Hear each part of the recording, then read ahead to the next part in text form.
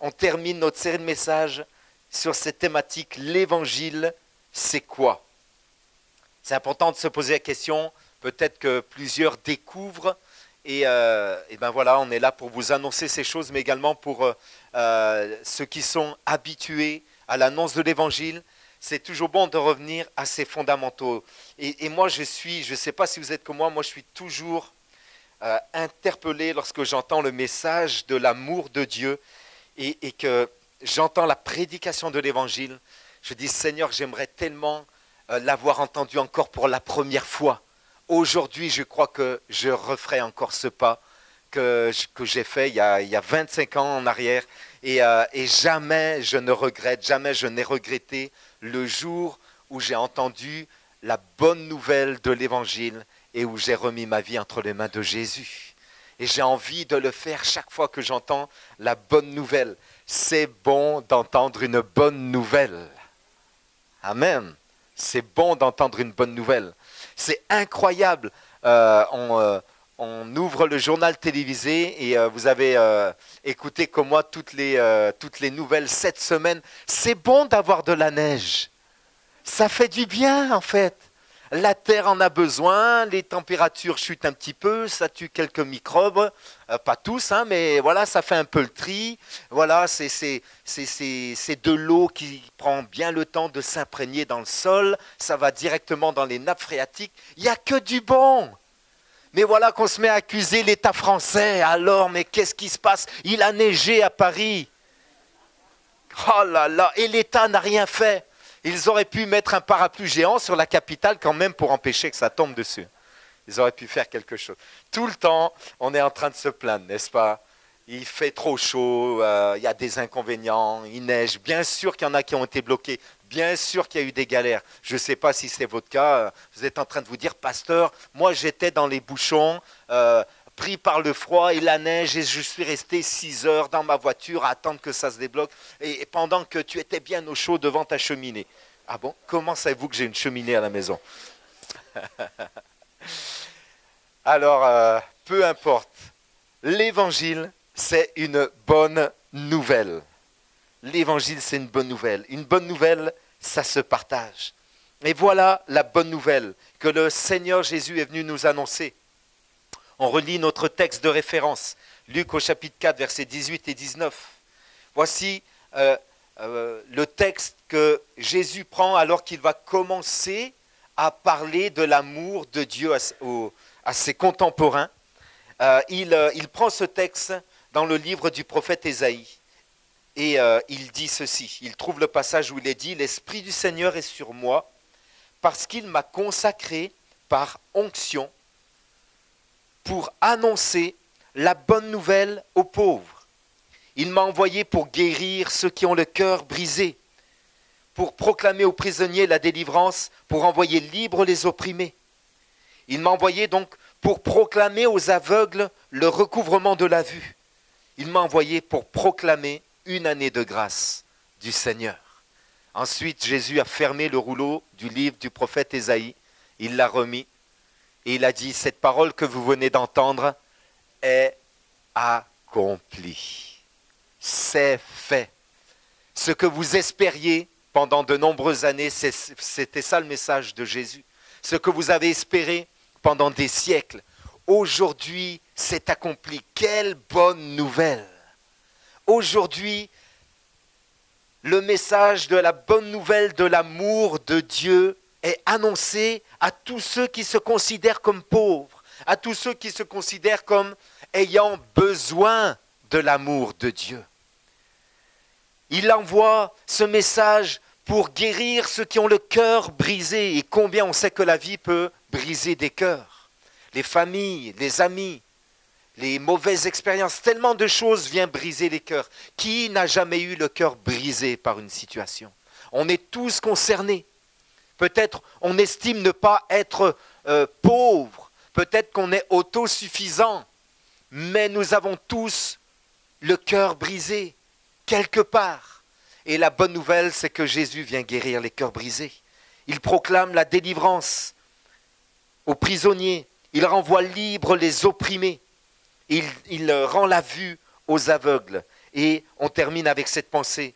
Il vient donner une, euh, il vient annoncer, proclamer une année de grâce de la part du Seigneur.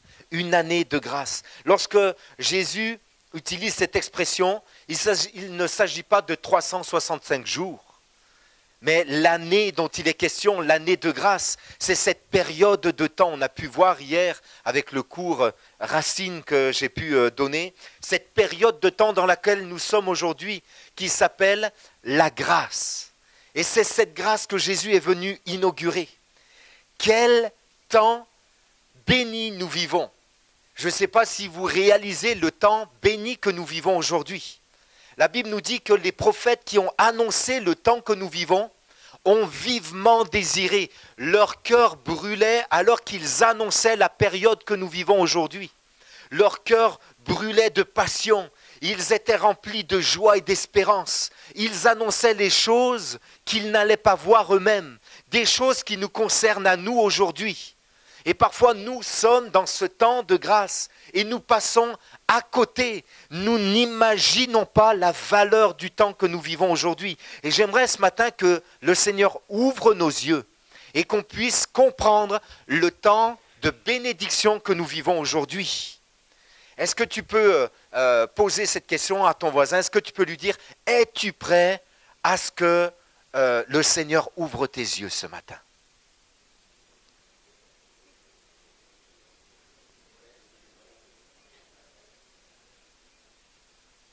Es-tu prêt? Alors, prie et dis Seigneur, ouvre mes yeux, que je comprenne le temps que nous vivons aujourd'hui. Jésus est venu annoncer un temps de grâce. Lorsque l'apôtre Pierre fait référence à ce temps de grâce, il l'image avec cette période de l'histoire assez sombre, celle du déluge, qui n'était pas un temps de grâce. Le déluge nous annonce un jugement. Dieu a laissé les hommes libres de choisir soit de lui faire confiance et d'être guidés dans la vie juste par sa parole, sans avoir accès à la connaissance du bien et du mal. Ça, c'était le premier choix. Le deuxième choix, c'était de ne pas dépendre de la parole de Dieu pour être conduit dans la vie, mais plutôt d'être conduit par soi-même, en ayant accès à la connaissance du bien et du mal. Et vous savez comment ça s'est terminé. L'homme a choisi d'être euh, le, le conducteur de sa vie et d'avoir accès à la connaissance du bien et du mal. Et c'est comme ça que l'homme est entré dans le péché et que la communion avec Dieu s'est rompue. C'est ainsi que euh, euh, l'homme a été guidé par ses propres choix et Dieu a dû laisser faire, laisser faire parce qu'il respecte nos choix, parce qu'il nous aime. Dieu nous a donné le choix parce qu'il nous aime, et même malgré notre mauvais choix, il nous respecte encore, et il continue de nous aimer. Ça, c'est déjà un acte de grâce. Et voilà que l'humanité s'est plongée tout entière dans le chaos du péché, à tel point que Dieu ne pouvait plus supporter. Et avant que le jugement ne vienne par le déluge, une porte de grâce était ouverte. Noé, cet homme qu'on prenait comme un insensé, se met à construire sur le plus haut sommet de sa région une arche de bois. Il reçoit cette pensée de Dieu, il reçoit cette révélation, et il construit un bateau alors que la pluie n'était jamais tombée sur la terre alors que chaque matin Dieu faisait remonter la rosée, alors qu'il n'y avait jamais eu les écluses des cieux qui s'étaient ouvertes. Voilà ce que nous dit le texte biblique. Quelle folie Mais que fais-tu là-haut, Noé Et Noé est là alors qu'il construit pendant des années, des dizaines d'années, des dizaines et des dizaines d'années, il est appelé le prédicateur de la justice. Il appelle les hommes. Voilà ce que Dieu va faire. Mais il y a un moyen d'échapper au déluge. Croyez et venez, joignez-moi, bâtissons ensemble l'arche, entrons ensemble dans l'arche et soyons sauvés du déluge. Mais tout le monde riait au nez de Noé. Il était pris pour un insensé. Et voilà que la porte de la grâce s'est refermée. C'est pas Noé, c'est Dieu lui-même qui a refermé la porte de la grâce et le déluge est venu. Ce Dieu d'amour est aussi un Dieu de justice. Et oui, il nous aime aujourd'hui, oui, il nous fait grâce aujourd'hui, mais il y a une urgence dans notre cœur. Parce qu'un jour, ce même Dieu qui est amour et qui fait grâce devra justement, parce qu'il est amour et juste, exercer le jugement. Parce qu'il est impossible que le péché ne soit pas jugé. Sinon, ça veut dire que Dieu n'est pas juste. Ça veut dire qu'il euh, y a libre cours à l'injustice dans ce monde. Or, Dieu est un Dieu de justice, de paix et d'amour. Il rendra à chacun selon ses œuvres. Et Dieu nous appelle à une œuvre. On va le voir ensemble dans un instant. Une œuvre qui dépend de sa grâce. Alors le, prophète Jérémie annonçait ce temps de grâce. Il disait ceci, Voici les jours viennent, dit l'Éternel, où je ferai avec la maison d'Israël et la maison de Juda une alliance nouvelle. Une alliance nouvelle. Non comme l'alliance que je traitais avec leur père, mais voici l'alliance que je ferai avec la maison d'Israël. Après ces jours-là, dit l'Éternel, je mettrai ma loi au dedans d'eux, je l'écrirai dans leur cœur, et je serai leur Dieu, et ils seront mon peuple. Celui-ci n'enseignera plus son prochain, ni celui-là son frère, en disant, Connaissez l'Éternel, car tous me connaîtront, depuis le plus petit jusqu'au plus grand, dit l'Éternel, car je pardonnerai leur iniquité, et je ne me souviendrai plus de leur péché. Est-ce que les croyants, on peut dire Amen à cette parole? Voici, dit le Seigneur, j'annonce un temps nouveau, il arrive. Je traiterai une alliance nouvelle. Et voici que Jésus se retrouve au moment où, on l'a vu ensemble, à chaque alliance que Dieu traite avec les hommes, il y a une promesse, il y a le sang de l'alliance, il y a le sceau de l'alliance. Et le sang de l'alliance, c'est ce moment où Jésus prend la coupe alors qu'il prend la dernière Pâque avec ses disciples. Il dit, voici la nouvelle alliance traitée en mon sang, celui qu'il allait verser à la croix. Et voici, dit le Seigneur, dans les derniers jours, je répandrai de mon esprit sur toute chair, et tous me connaîtront. Non seulement le peuple d'Israël qui a reçu la loi écrite sur des tables de pierre, mais tous les hommes qui ouvriront leur cœur et sur qui Dieu pourra écrire dans leur cœur sa loi dans des tables de chair. Amen. Sur nous qui croyons aujourd'hui. Voilà, dit le Seigneur, une nouvelle alliance que je traite. Voilà l'année de grâce. Il y a eu une alliance qui a été traitée avec le peuple d'Israël. Mais cette alliance s'est accomplie en Jésus. Et aujourd'hui, la nouvelle alliance que Dieu traite avec les hommes, elle est universelle, elle est pour les picards. Est-ce qu'il y a des picards dans la salle? Elle est pour les Italiens. Oh, merci Seigneur pour la grâce que tu fais aux Italiens. Amen. Elle est pour nous. Je mettrai mes lois au dedans d'eux. Je l'écrirai dans leur cœur. Je serai leur Dieu. Et ils seront mon peuple. Tous me connaîtront car je pardonnerai leurs péchés. Quelle grâce aujourd'hui. Nous sommes dans ce temps où, comme à l'époque de Noé, la porte est ouverte et on peut entrer par la porte. Jésus a dit, je suis la porte. Celui qui passe par moi, celui qui entre par moi, il entre dans le royaume de Dieu. Amen. Je pardonnerai son péché. Qu'est-ce qu'il est bon de passer par la porte qui est Jésus, de passer par cette alliance que Jésus a traitée avec nous de passer par cette alliance bénie qui nous ouvre une année de grâce, qui nous ouvre une ère de bénédiction, une ère où il y a une nouvelle alliance, un nouveau rapport entre Dieu et les hommes. On n'est plus sous la condamnation, on n'est plus sous le jugement, mais on est sous le pardon, on est réconcilié avec notre Créateur. Et ce qui avait été brisé par le péché au commencement, alors que l'homme avait euh, consciemment, volontairement, intentionnellement choisi de vivre sans Dieu, choisi de vivre avec la connaissance du bien et du mal. Ce, choix-là est dépassé par l'amour de Dieu et Dieu nous offre une nouvelle alliance. Il pardonne notre péché et il nous fait grâce aujourd'hui encore. L'apôtre Paul, était tellement fier de la bonne nouvelle. Il était tellement fier de la bonne nouvelle. Il dit ceci En effet, je n'ai pas honte de l'évangile de Christ. C'est la puissance de Dieu pour le salut de tout homme qui croit. Je n'ai pas honte de l'évangile.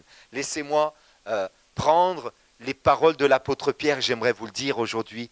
Moi non plus, un simple homme que je suis, rien à voir avec l'apôtre euh, Paul, mais je veux prendre ces paroles et je veux vous dire, je n'ai pas honte de l'évangile. C'est la puissance de Dieu pour le salut de celui qui croit. C'est la puissance de Dieu pour le juif d'abord, mais aussi pour le non-juif.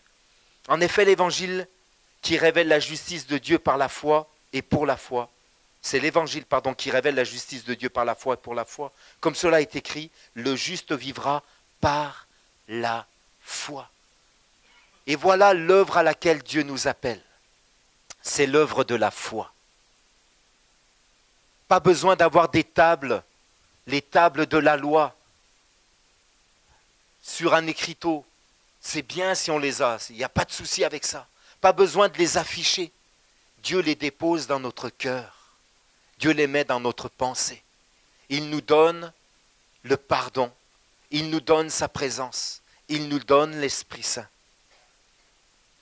Et il nous donne cette puissance pour marcher avec lui dans la justice. Non plus sous le péché, mais dans la justice. Est-ce que quelqu'un veut dire Amen à ça aujourd'hui? Quelle ère bénie nous vivons aujourd'hui. Comment est-ce que tu vis aujourd'hui? Est-ce que tu te prives de cette bénédiction? Est-ce que tu es en dehors de l'arche, en train de regarder ceux qui vivent dans cette bénédiction et de dire mais ils sont bizarres quand même? Ou alors est-ce que tu t'es joint à, euh, cette multitude de croyants euh, qui sont entrés dans ce temps de grâce, dans cette bénédiction? L'apôtre Paul était fier de cette bonne nouvelle. Cette bonne nouvelle qui dépassait le peuple juif. Tous peuvent être sauvés. Je vais terminer avec ce texte biblique avant de vous donner des, témoignages ce matin. Ce texte qui m'a interpellé. Voilà qu'un jeune homme entend des paroles difficiles de la part de Jésus. On a entendu que l'évangile c'est la puissance de Dieu pour le salut de tout homme qui croit. Et un jeune homme vient vers Jésus, lui dit, Seigneur, que dois-je faire pour être sauvé? Et l'apôtre Paul nous dit, l'évangile, c'est la bonne nouvelle pour celui qui croit. Que dois-je faire pour être sauvé? La bonne nouvelle du salut pour celui qui croit. Et euh, Jésus lui dit, ben, observe les lois. Ces lois que tu as écrites sur des tables, ces lois que tu as affichées dans ton salon, ces lois que tu écoutes lorsque tu vas à la synagogue. Observe les lois et dis, Seigneur, j'ai observé toutes ces lois. Depuis mon jeune âge, je fais ces choses. Mais il y avait quelque chose qui n'était pas inscrit dans son cœur. C'était quelque chose qui était en dehors. Il était étranger.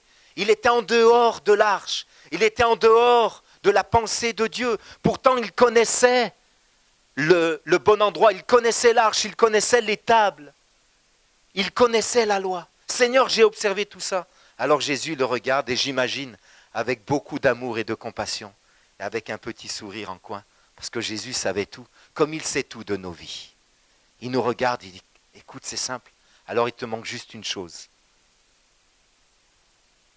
Vends tout ce que tu as distribue-le aux pauvres, puis viens et suis-moi. Et là, le jeune homme a dit, Oh Seigneur, maintenant je comprends, ok, j'y vais. Non, c'est pas ça. Hein. On connaît l'histoire qui dit que ce jeune homme avait de grands biens et il est reparti tout triste. Triste d'entendre cette parole. Il te manque juste une chose. Lâche tout, abandonne tout et viens suivre Jésus. Sois pauvre. Ça vous dit quelque chose? Une bonne nouvelle pour les pauvres. Mais toi, tu es riche. Hmm, mais qu'est-ce qui se passe ici?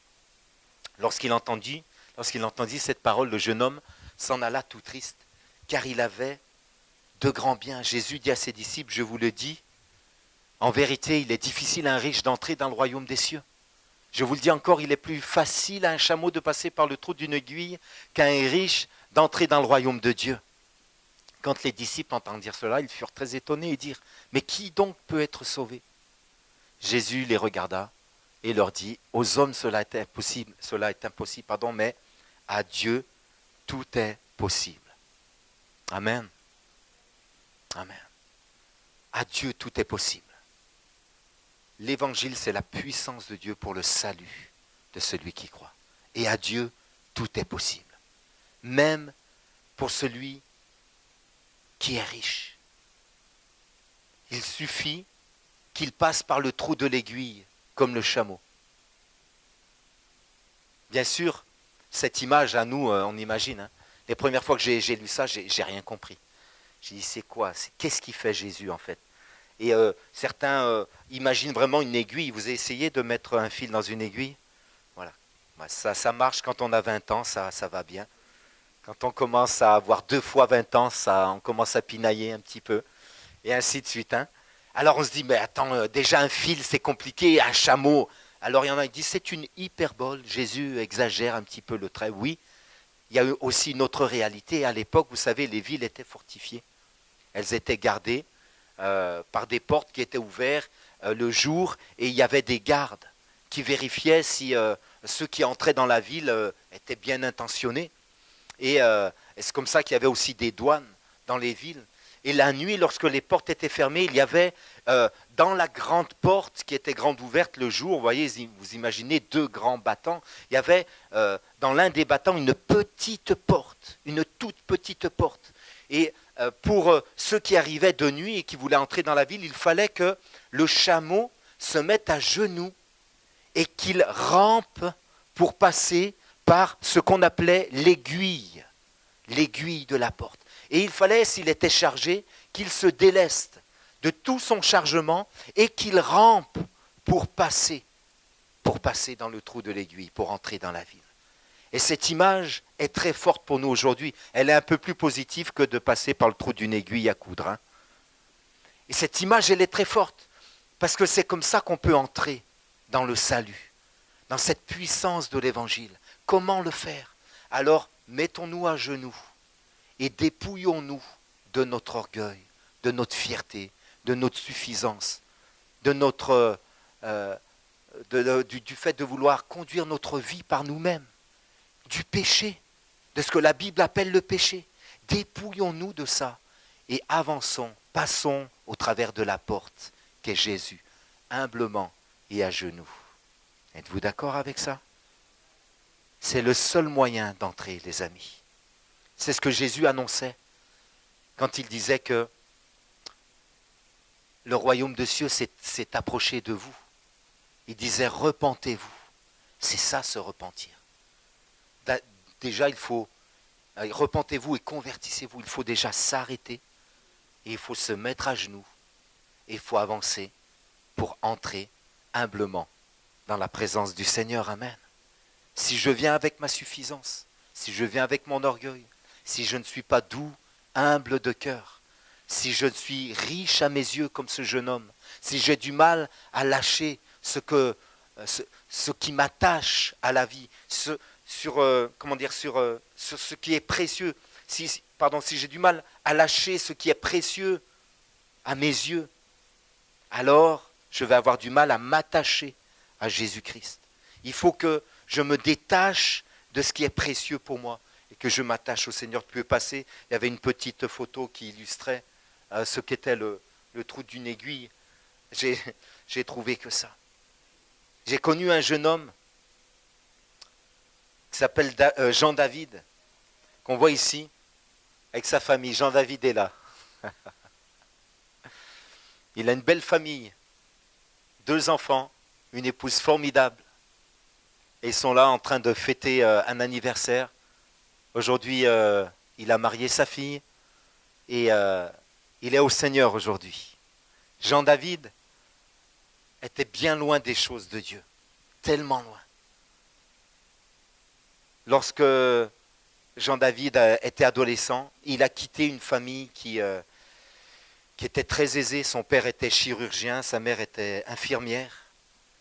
Euh, tout allait bien, bonne éducation, des parents aimants, mais il y avait un fardeau sur sa vie. Il y avait comme un poids. Il se sentait étouffé. Il a quitté la famille euh, il était mineur et il est parti, il a fugué. Et il s'est retrouvé euh, en maison d'accueil, dans un foyer, loin de sa famille. C'était son choix. Et là, il, a fait des tas de folies. Tout ce qu'on peut faire dans un foyer, quoi. En ayant rejeté l'éducation de ses parents, l'autorité de ses parents, l'amour de ses parents. Je ne doute absolument pas que ses parents l'aimaient. Il a rejeté tout ça, il s'est retrouvé dans ce foyer à faire des folies. Et euh, plus tard, il a été accueilli, je vous en ai parlé peut-être il y a quelque temps, le voilà, Jean David. Il a été accueilli dans une famille euh, chrétienne, une veuve qui avait trois enfants. Et cette veuve euh, a été touchée par l'histoire de Jean David. Et Jean David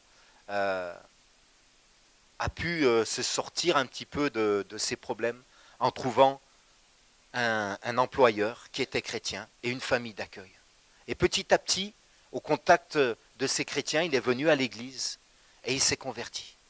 Et lui qui, trafiquait tout ce que vous pouvez imaginer, lui qui, volait, qui, fumait de la drogue, qui, euh, trafiquait, qui trompait les gens, euh,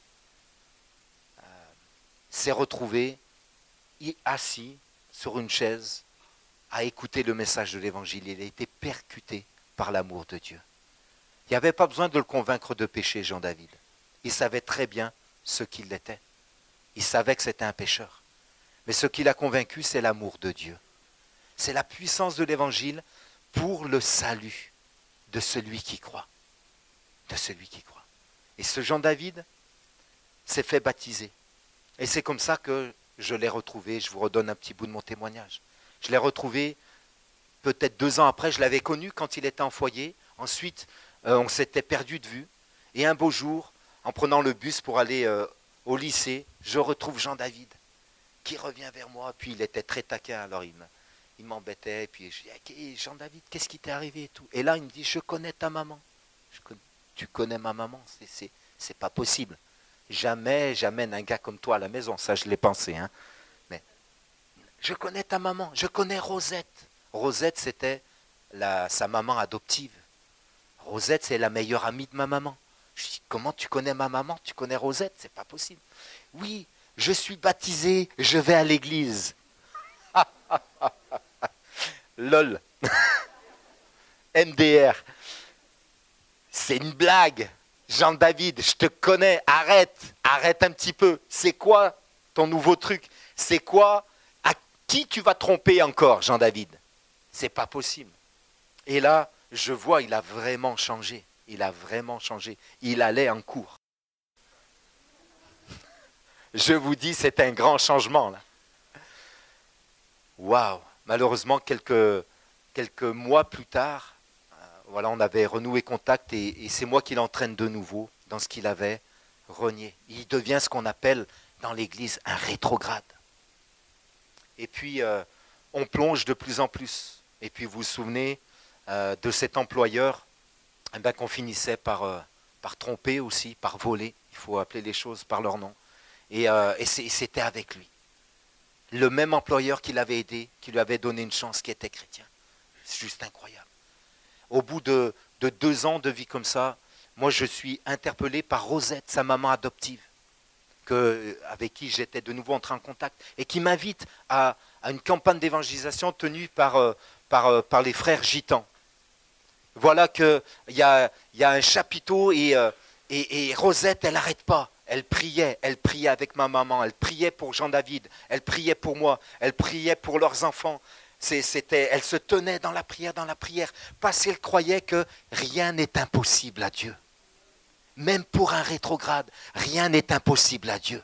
Même pour un gars comme moi qui avait connu l'évangile petit et qui avait choisi volontairement de rejeter l'enseignement de Jésus, rien n'est impossible à Dieu. Elle le croyait. Alors, euh, Rosette m'invite et moi je vais. Et euh, à cette campagne d'évangélisation, j'entends les gitans chanter de tout leur cœur très très fort. Très très fort. Avec la sono à fond. Ça, nous pétait les oreilles. Vous croyez que c'est fort ici? Je vous invite là-bas. Et là, je me retrouve à genoux au moment de l'appel. Et je ne sais même je sais pas ce qui s'est passé, les amis. Je, je me souviens juste, je suis à genoux en train de pleurer. Et ma maman à côté, en train de pleurer aussi. Vous imaginez comment elle pleurait de joie. Mais on sort de là avec Jean-David et c'est reparti de plus belle. Et là, on se fait les amis à cinq feuilles. Là. Ça rigole plus. Hein. Ça, c'est pour les initiés. Il n'y en a pas beaucoup ici. C'est pas mal. On se fait un joint encore pire. Et la lutte commence. Et Jean-David finit par. Euh, moi, je finis quelques années, euh, quelques mois plus tard, pardon, je vous passe tous les détails. Je finis par céder à l'amour de Dieu, à ce message, à cette bonne nouvelle. Je choisis Jésus et je renonce à tout ce qui était précieux pour moi. Ma liberté, ma, petite vie de plaisir, j'y renonce. J'ai trouvé tellement mieux, une, tellement plus grande richesse en Jésus-Christ. J'ai trouvé son pardon, sa joie, sa paix. Je dis à Jean-David, il faut que, tu faut que tu reviennes. Tu vois, on a fait des bêtises ensemble. Maintenant, on va revenir, on va marcher ensemble avec le Seigneur. Et un beau matin, il se lève, il me dit, non, Tony, c'est pas possible. Je suis trop lié par le péché je ne vais pas y arriver. Je me suis trompé une fois, j'ai déçu beaucoup de gens, je ne recommencerai pas. Et je sais que j'y arriverai pas. Je suis désolé, Tony, vas-y sans moi. J'étais, j'avais le cœur déchiré. Mais voilà que on prie avec Rosette et on prie pour Jean-David, et on prie pour les enfants de Rosette, qui étaient aussi nos amis, on était toute une bande. Et voilà qu'un autre Tony, le fils de Rosette, le fils aîné de Rosette, se convertit. Et voilà que euh, le, futur gendre de Rosette, David, un ami, se convertit aussi. Et voilà qu'avec Tony, avec David, avec Rosette, avec le, le mari de Rosette, parce qu'entre-temps elle s'est mariée, bienvenue, on commence à prier, on continue et tous les jours on, se retrouve, on prie pour Jean-David, on prie pour Jean-David. Pourquoi? Parce que rien n'est impossible à Dieu. Un beau jour alors qu'on prie, ding dong, qui est-ce qui arrive? Jean-David. Jean-David, bienvenue. C'était chez euh, David. On ferme la porte, clic, clic, double tour. C'est l'heure de la prière, Jean-David. Ah, je ne veux pas vous déranger. Tu ne nous déranges pas du tout, Jean-David. Bienvenue. Et là, on prie, il est touché par l'amour de Dieu, il pleure, il range sa vie, ça dure six mois, et il touche l'héritage de son papa décédé, il est reparti de plus belle dans la folie, à dépenser l'héritage de son papa qui est décédé. Nous, on est là, on est stupéfait. Jean-David ne fait pas ça, ne recommence pas. Et il repart, mais il repart de plus belle. Il se retrouve, il se retrouve en couple avec euh, sa future femme. Et un jour que je vais les voir entre euh, les deux années d'école biblique, Jean-David est chez lui. C'était fini la fumette. C'était fini. Il était arrivé à la drogue dure, à la piqûre. Et il y a sa fille, sa fille qui est là, Océane, qui a quelques mois. et, et moi, je vais lui rendre visite, je, je, je continuais de prier pour lui. Je savais qu'il avait encore une fois rejeté le Seigneur. Et je vois Jean-David dans un état pas possible, et sa fille qui pleure. Il arrivait à peine à, assurer ce qu'il faut. il était complètement dans les choux, comme on dit, complètement. Jean-David, tu ne vas pas pouvoir rester comme ça.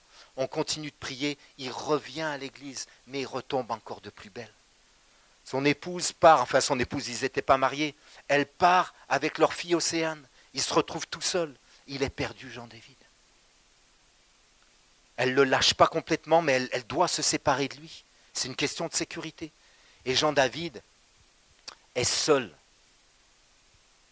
Complètement seul. Et voilà qu'il rentre en lui-même comme le fils prodigue.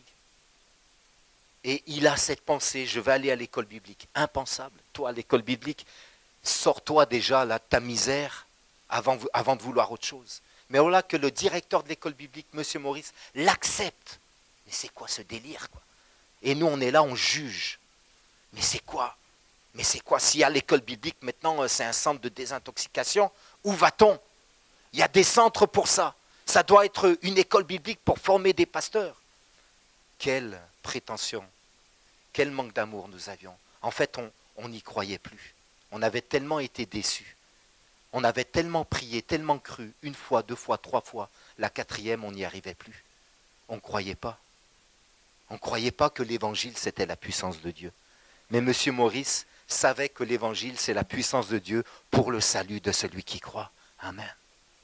Et Jean David, non seulement est sevré, mais il est restauré dans son identité en Christ à l'école biblique. Il était parti pour une année, il a fait les deux années. Dieu l'a béni. Amen. Aujourd'hui, ils sont mariés. Océane va bien, une belle jeune fille mariée, et puis leur fils a, la joie de vivre. C'est juste une grâce de Dieu. Ils servent le Seigneur dans une église. Amen. Pas en tant que pasteur, mais si ce n'est pas ça qui compte. Mais ils servent de tout leur cœur. Ils sont impliqués parce qu'ils aiment le Seigneur qui les a sauvés et pardonnés. Amen. L'évangile, c'est la puissance de Dieu pour le salut de celui qui croit. Il faut croire. Il faut croire qu'on a vraiment besoin d'être sauvé. Et il faut croire que Jésus a la puissance vraiment de nous sauver. Amen. Juste, il peut mettre, je termine avec ça, je suis très long, désolé. Voilà, Antoine ici, je vous ai parlé d'Antoine, le, patron, le patron qui avait une, une boîte de distribution automatique de boissons à l'époque. Le voilà ici maintenant, en tenue de capitaine. Il a une compagnie euh, aérienne, monsieur, maintenant. Antoine, rien à voir avec Jean-David, grand entrepreneur. Il n'avait il pas 25 ans qu'il était déjà propriétaire d'une belle entreprise. Mes amis, allez lui parler euh, de, dépendance de Dieu, d'humilité. À l'époque, là, là c'était impensable. C'était un grand sportif. Il jonglait entre son activité professionnelle dont, dont il était le patron et puis les concours de vélo euh, le week-end. High level, les amis. Sérieux, consciencieux, il se donne à fond. Hygiène de vie impeccable. Mais voilà qu'un jour, il entend parler de l'amour de Dieu. Et lui aussi, il est honnête avec lui-même.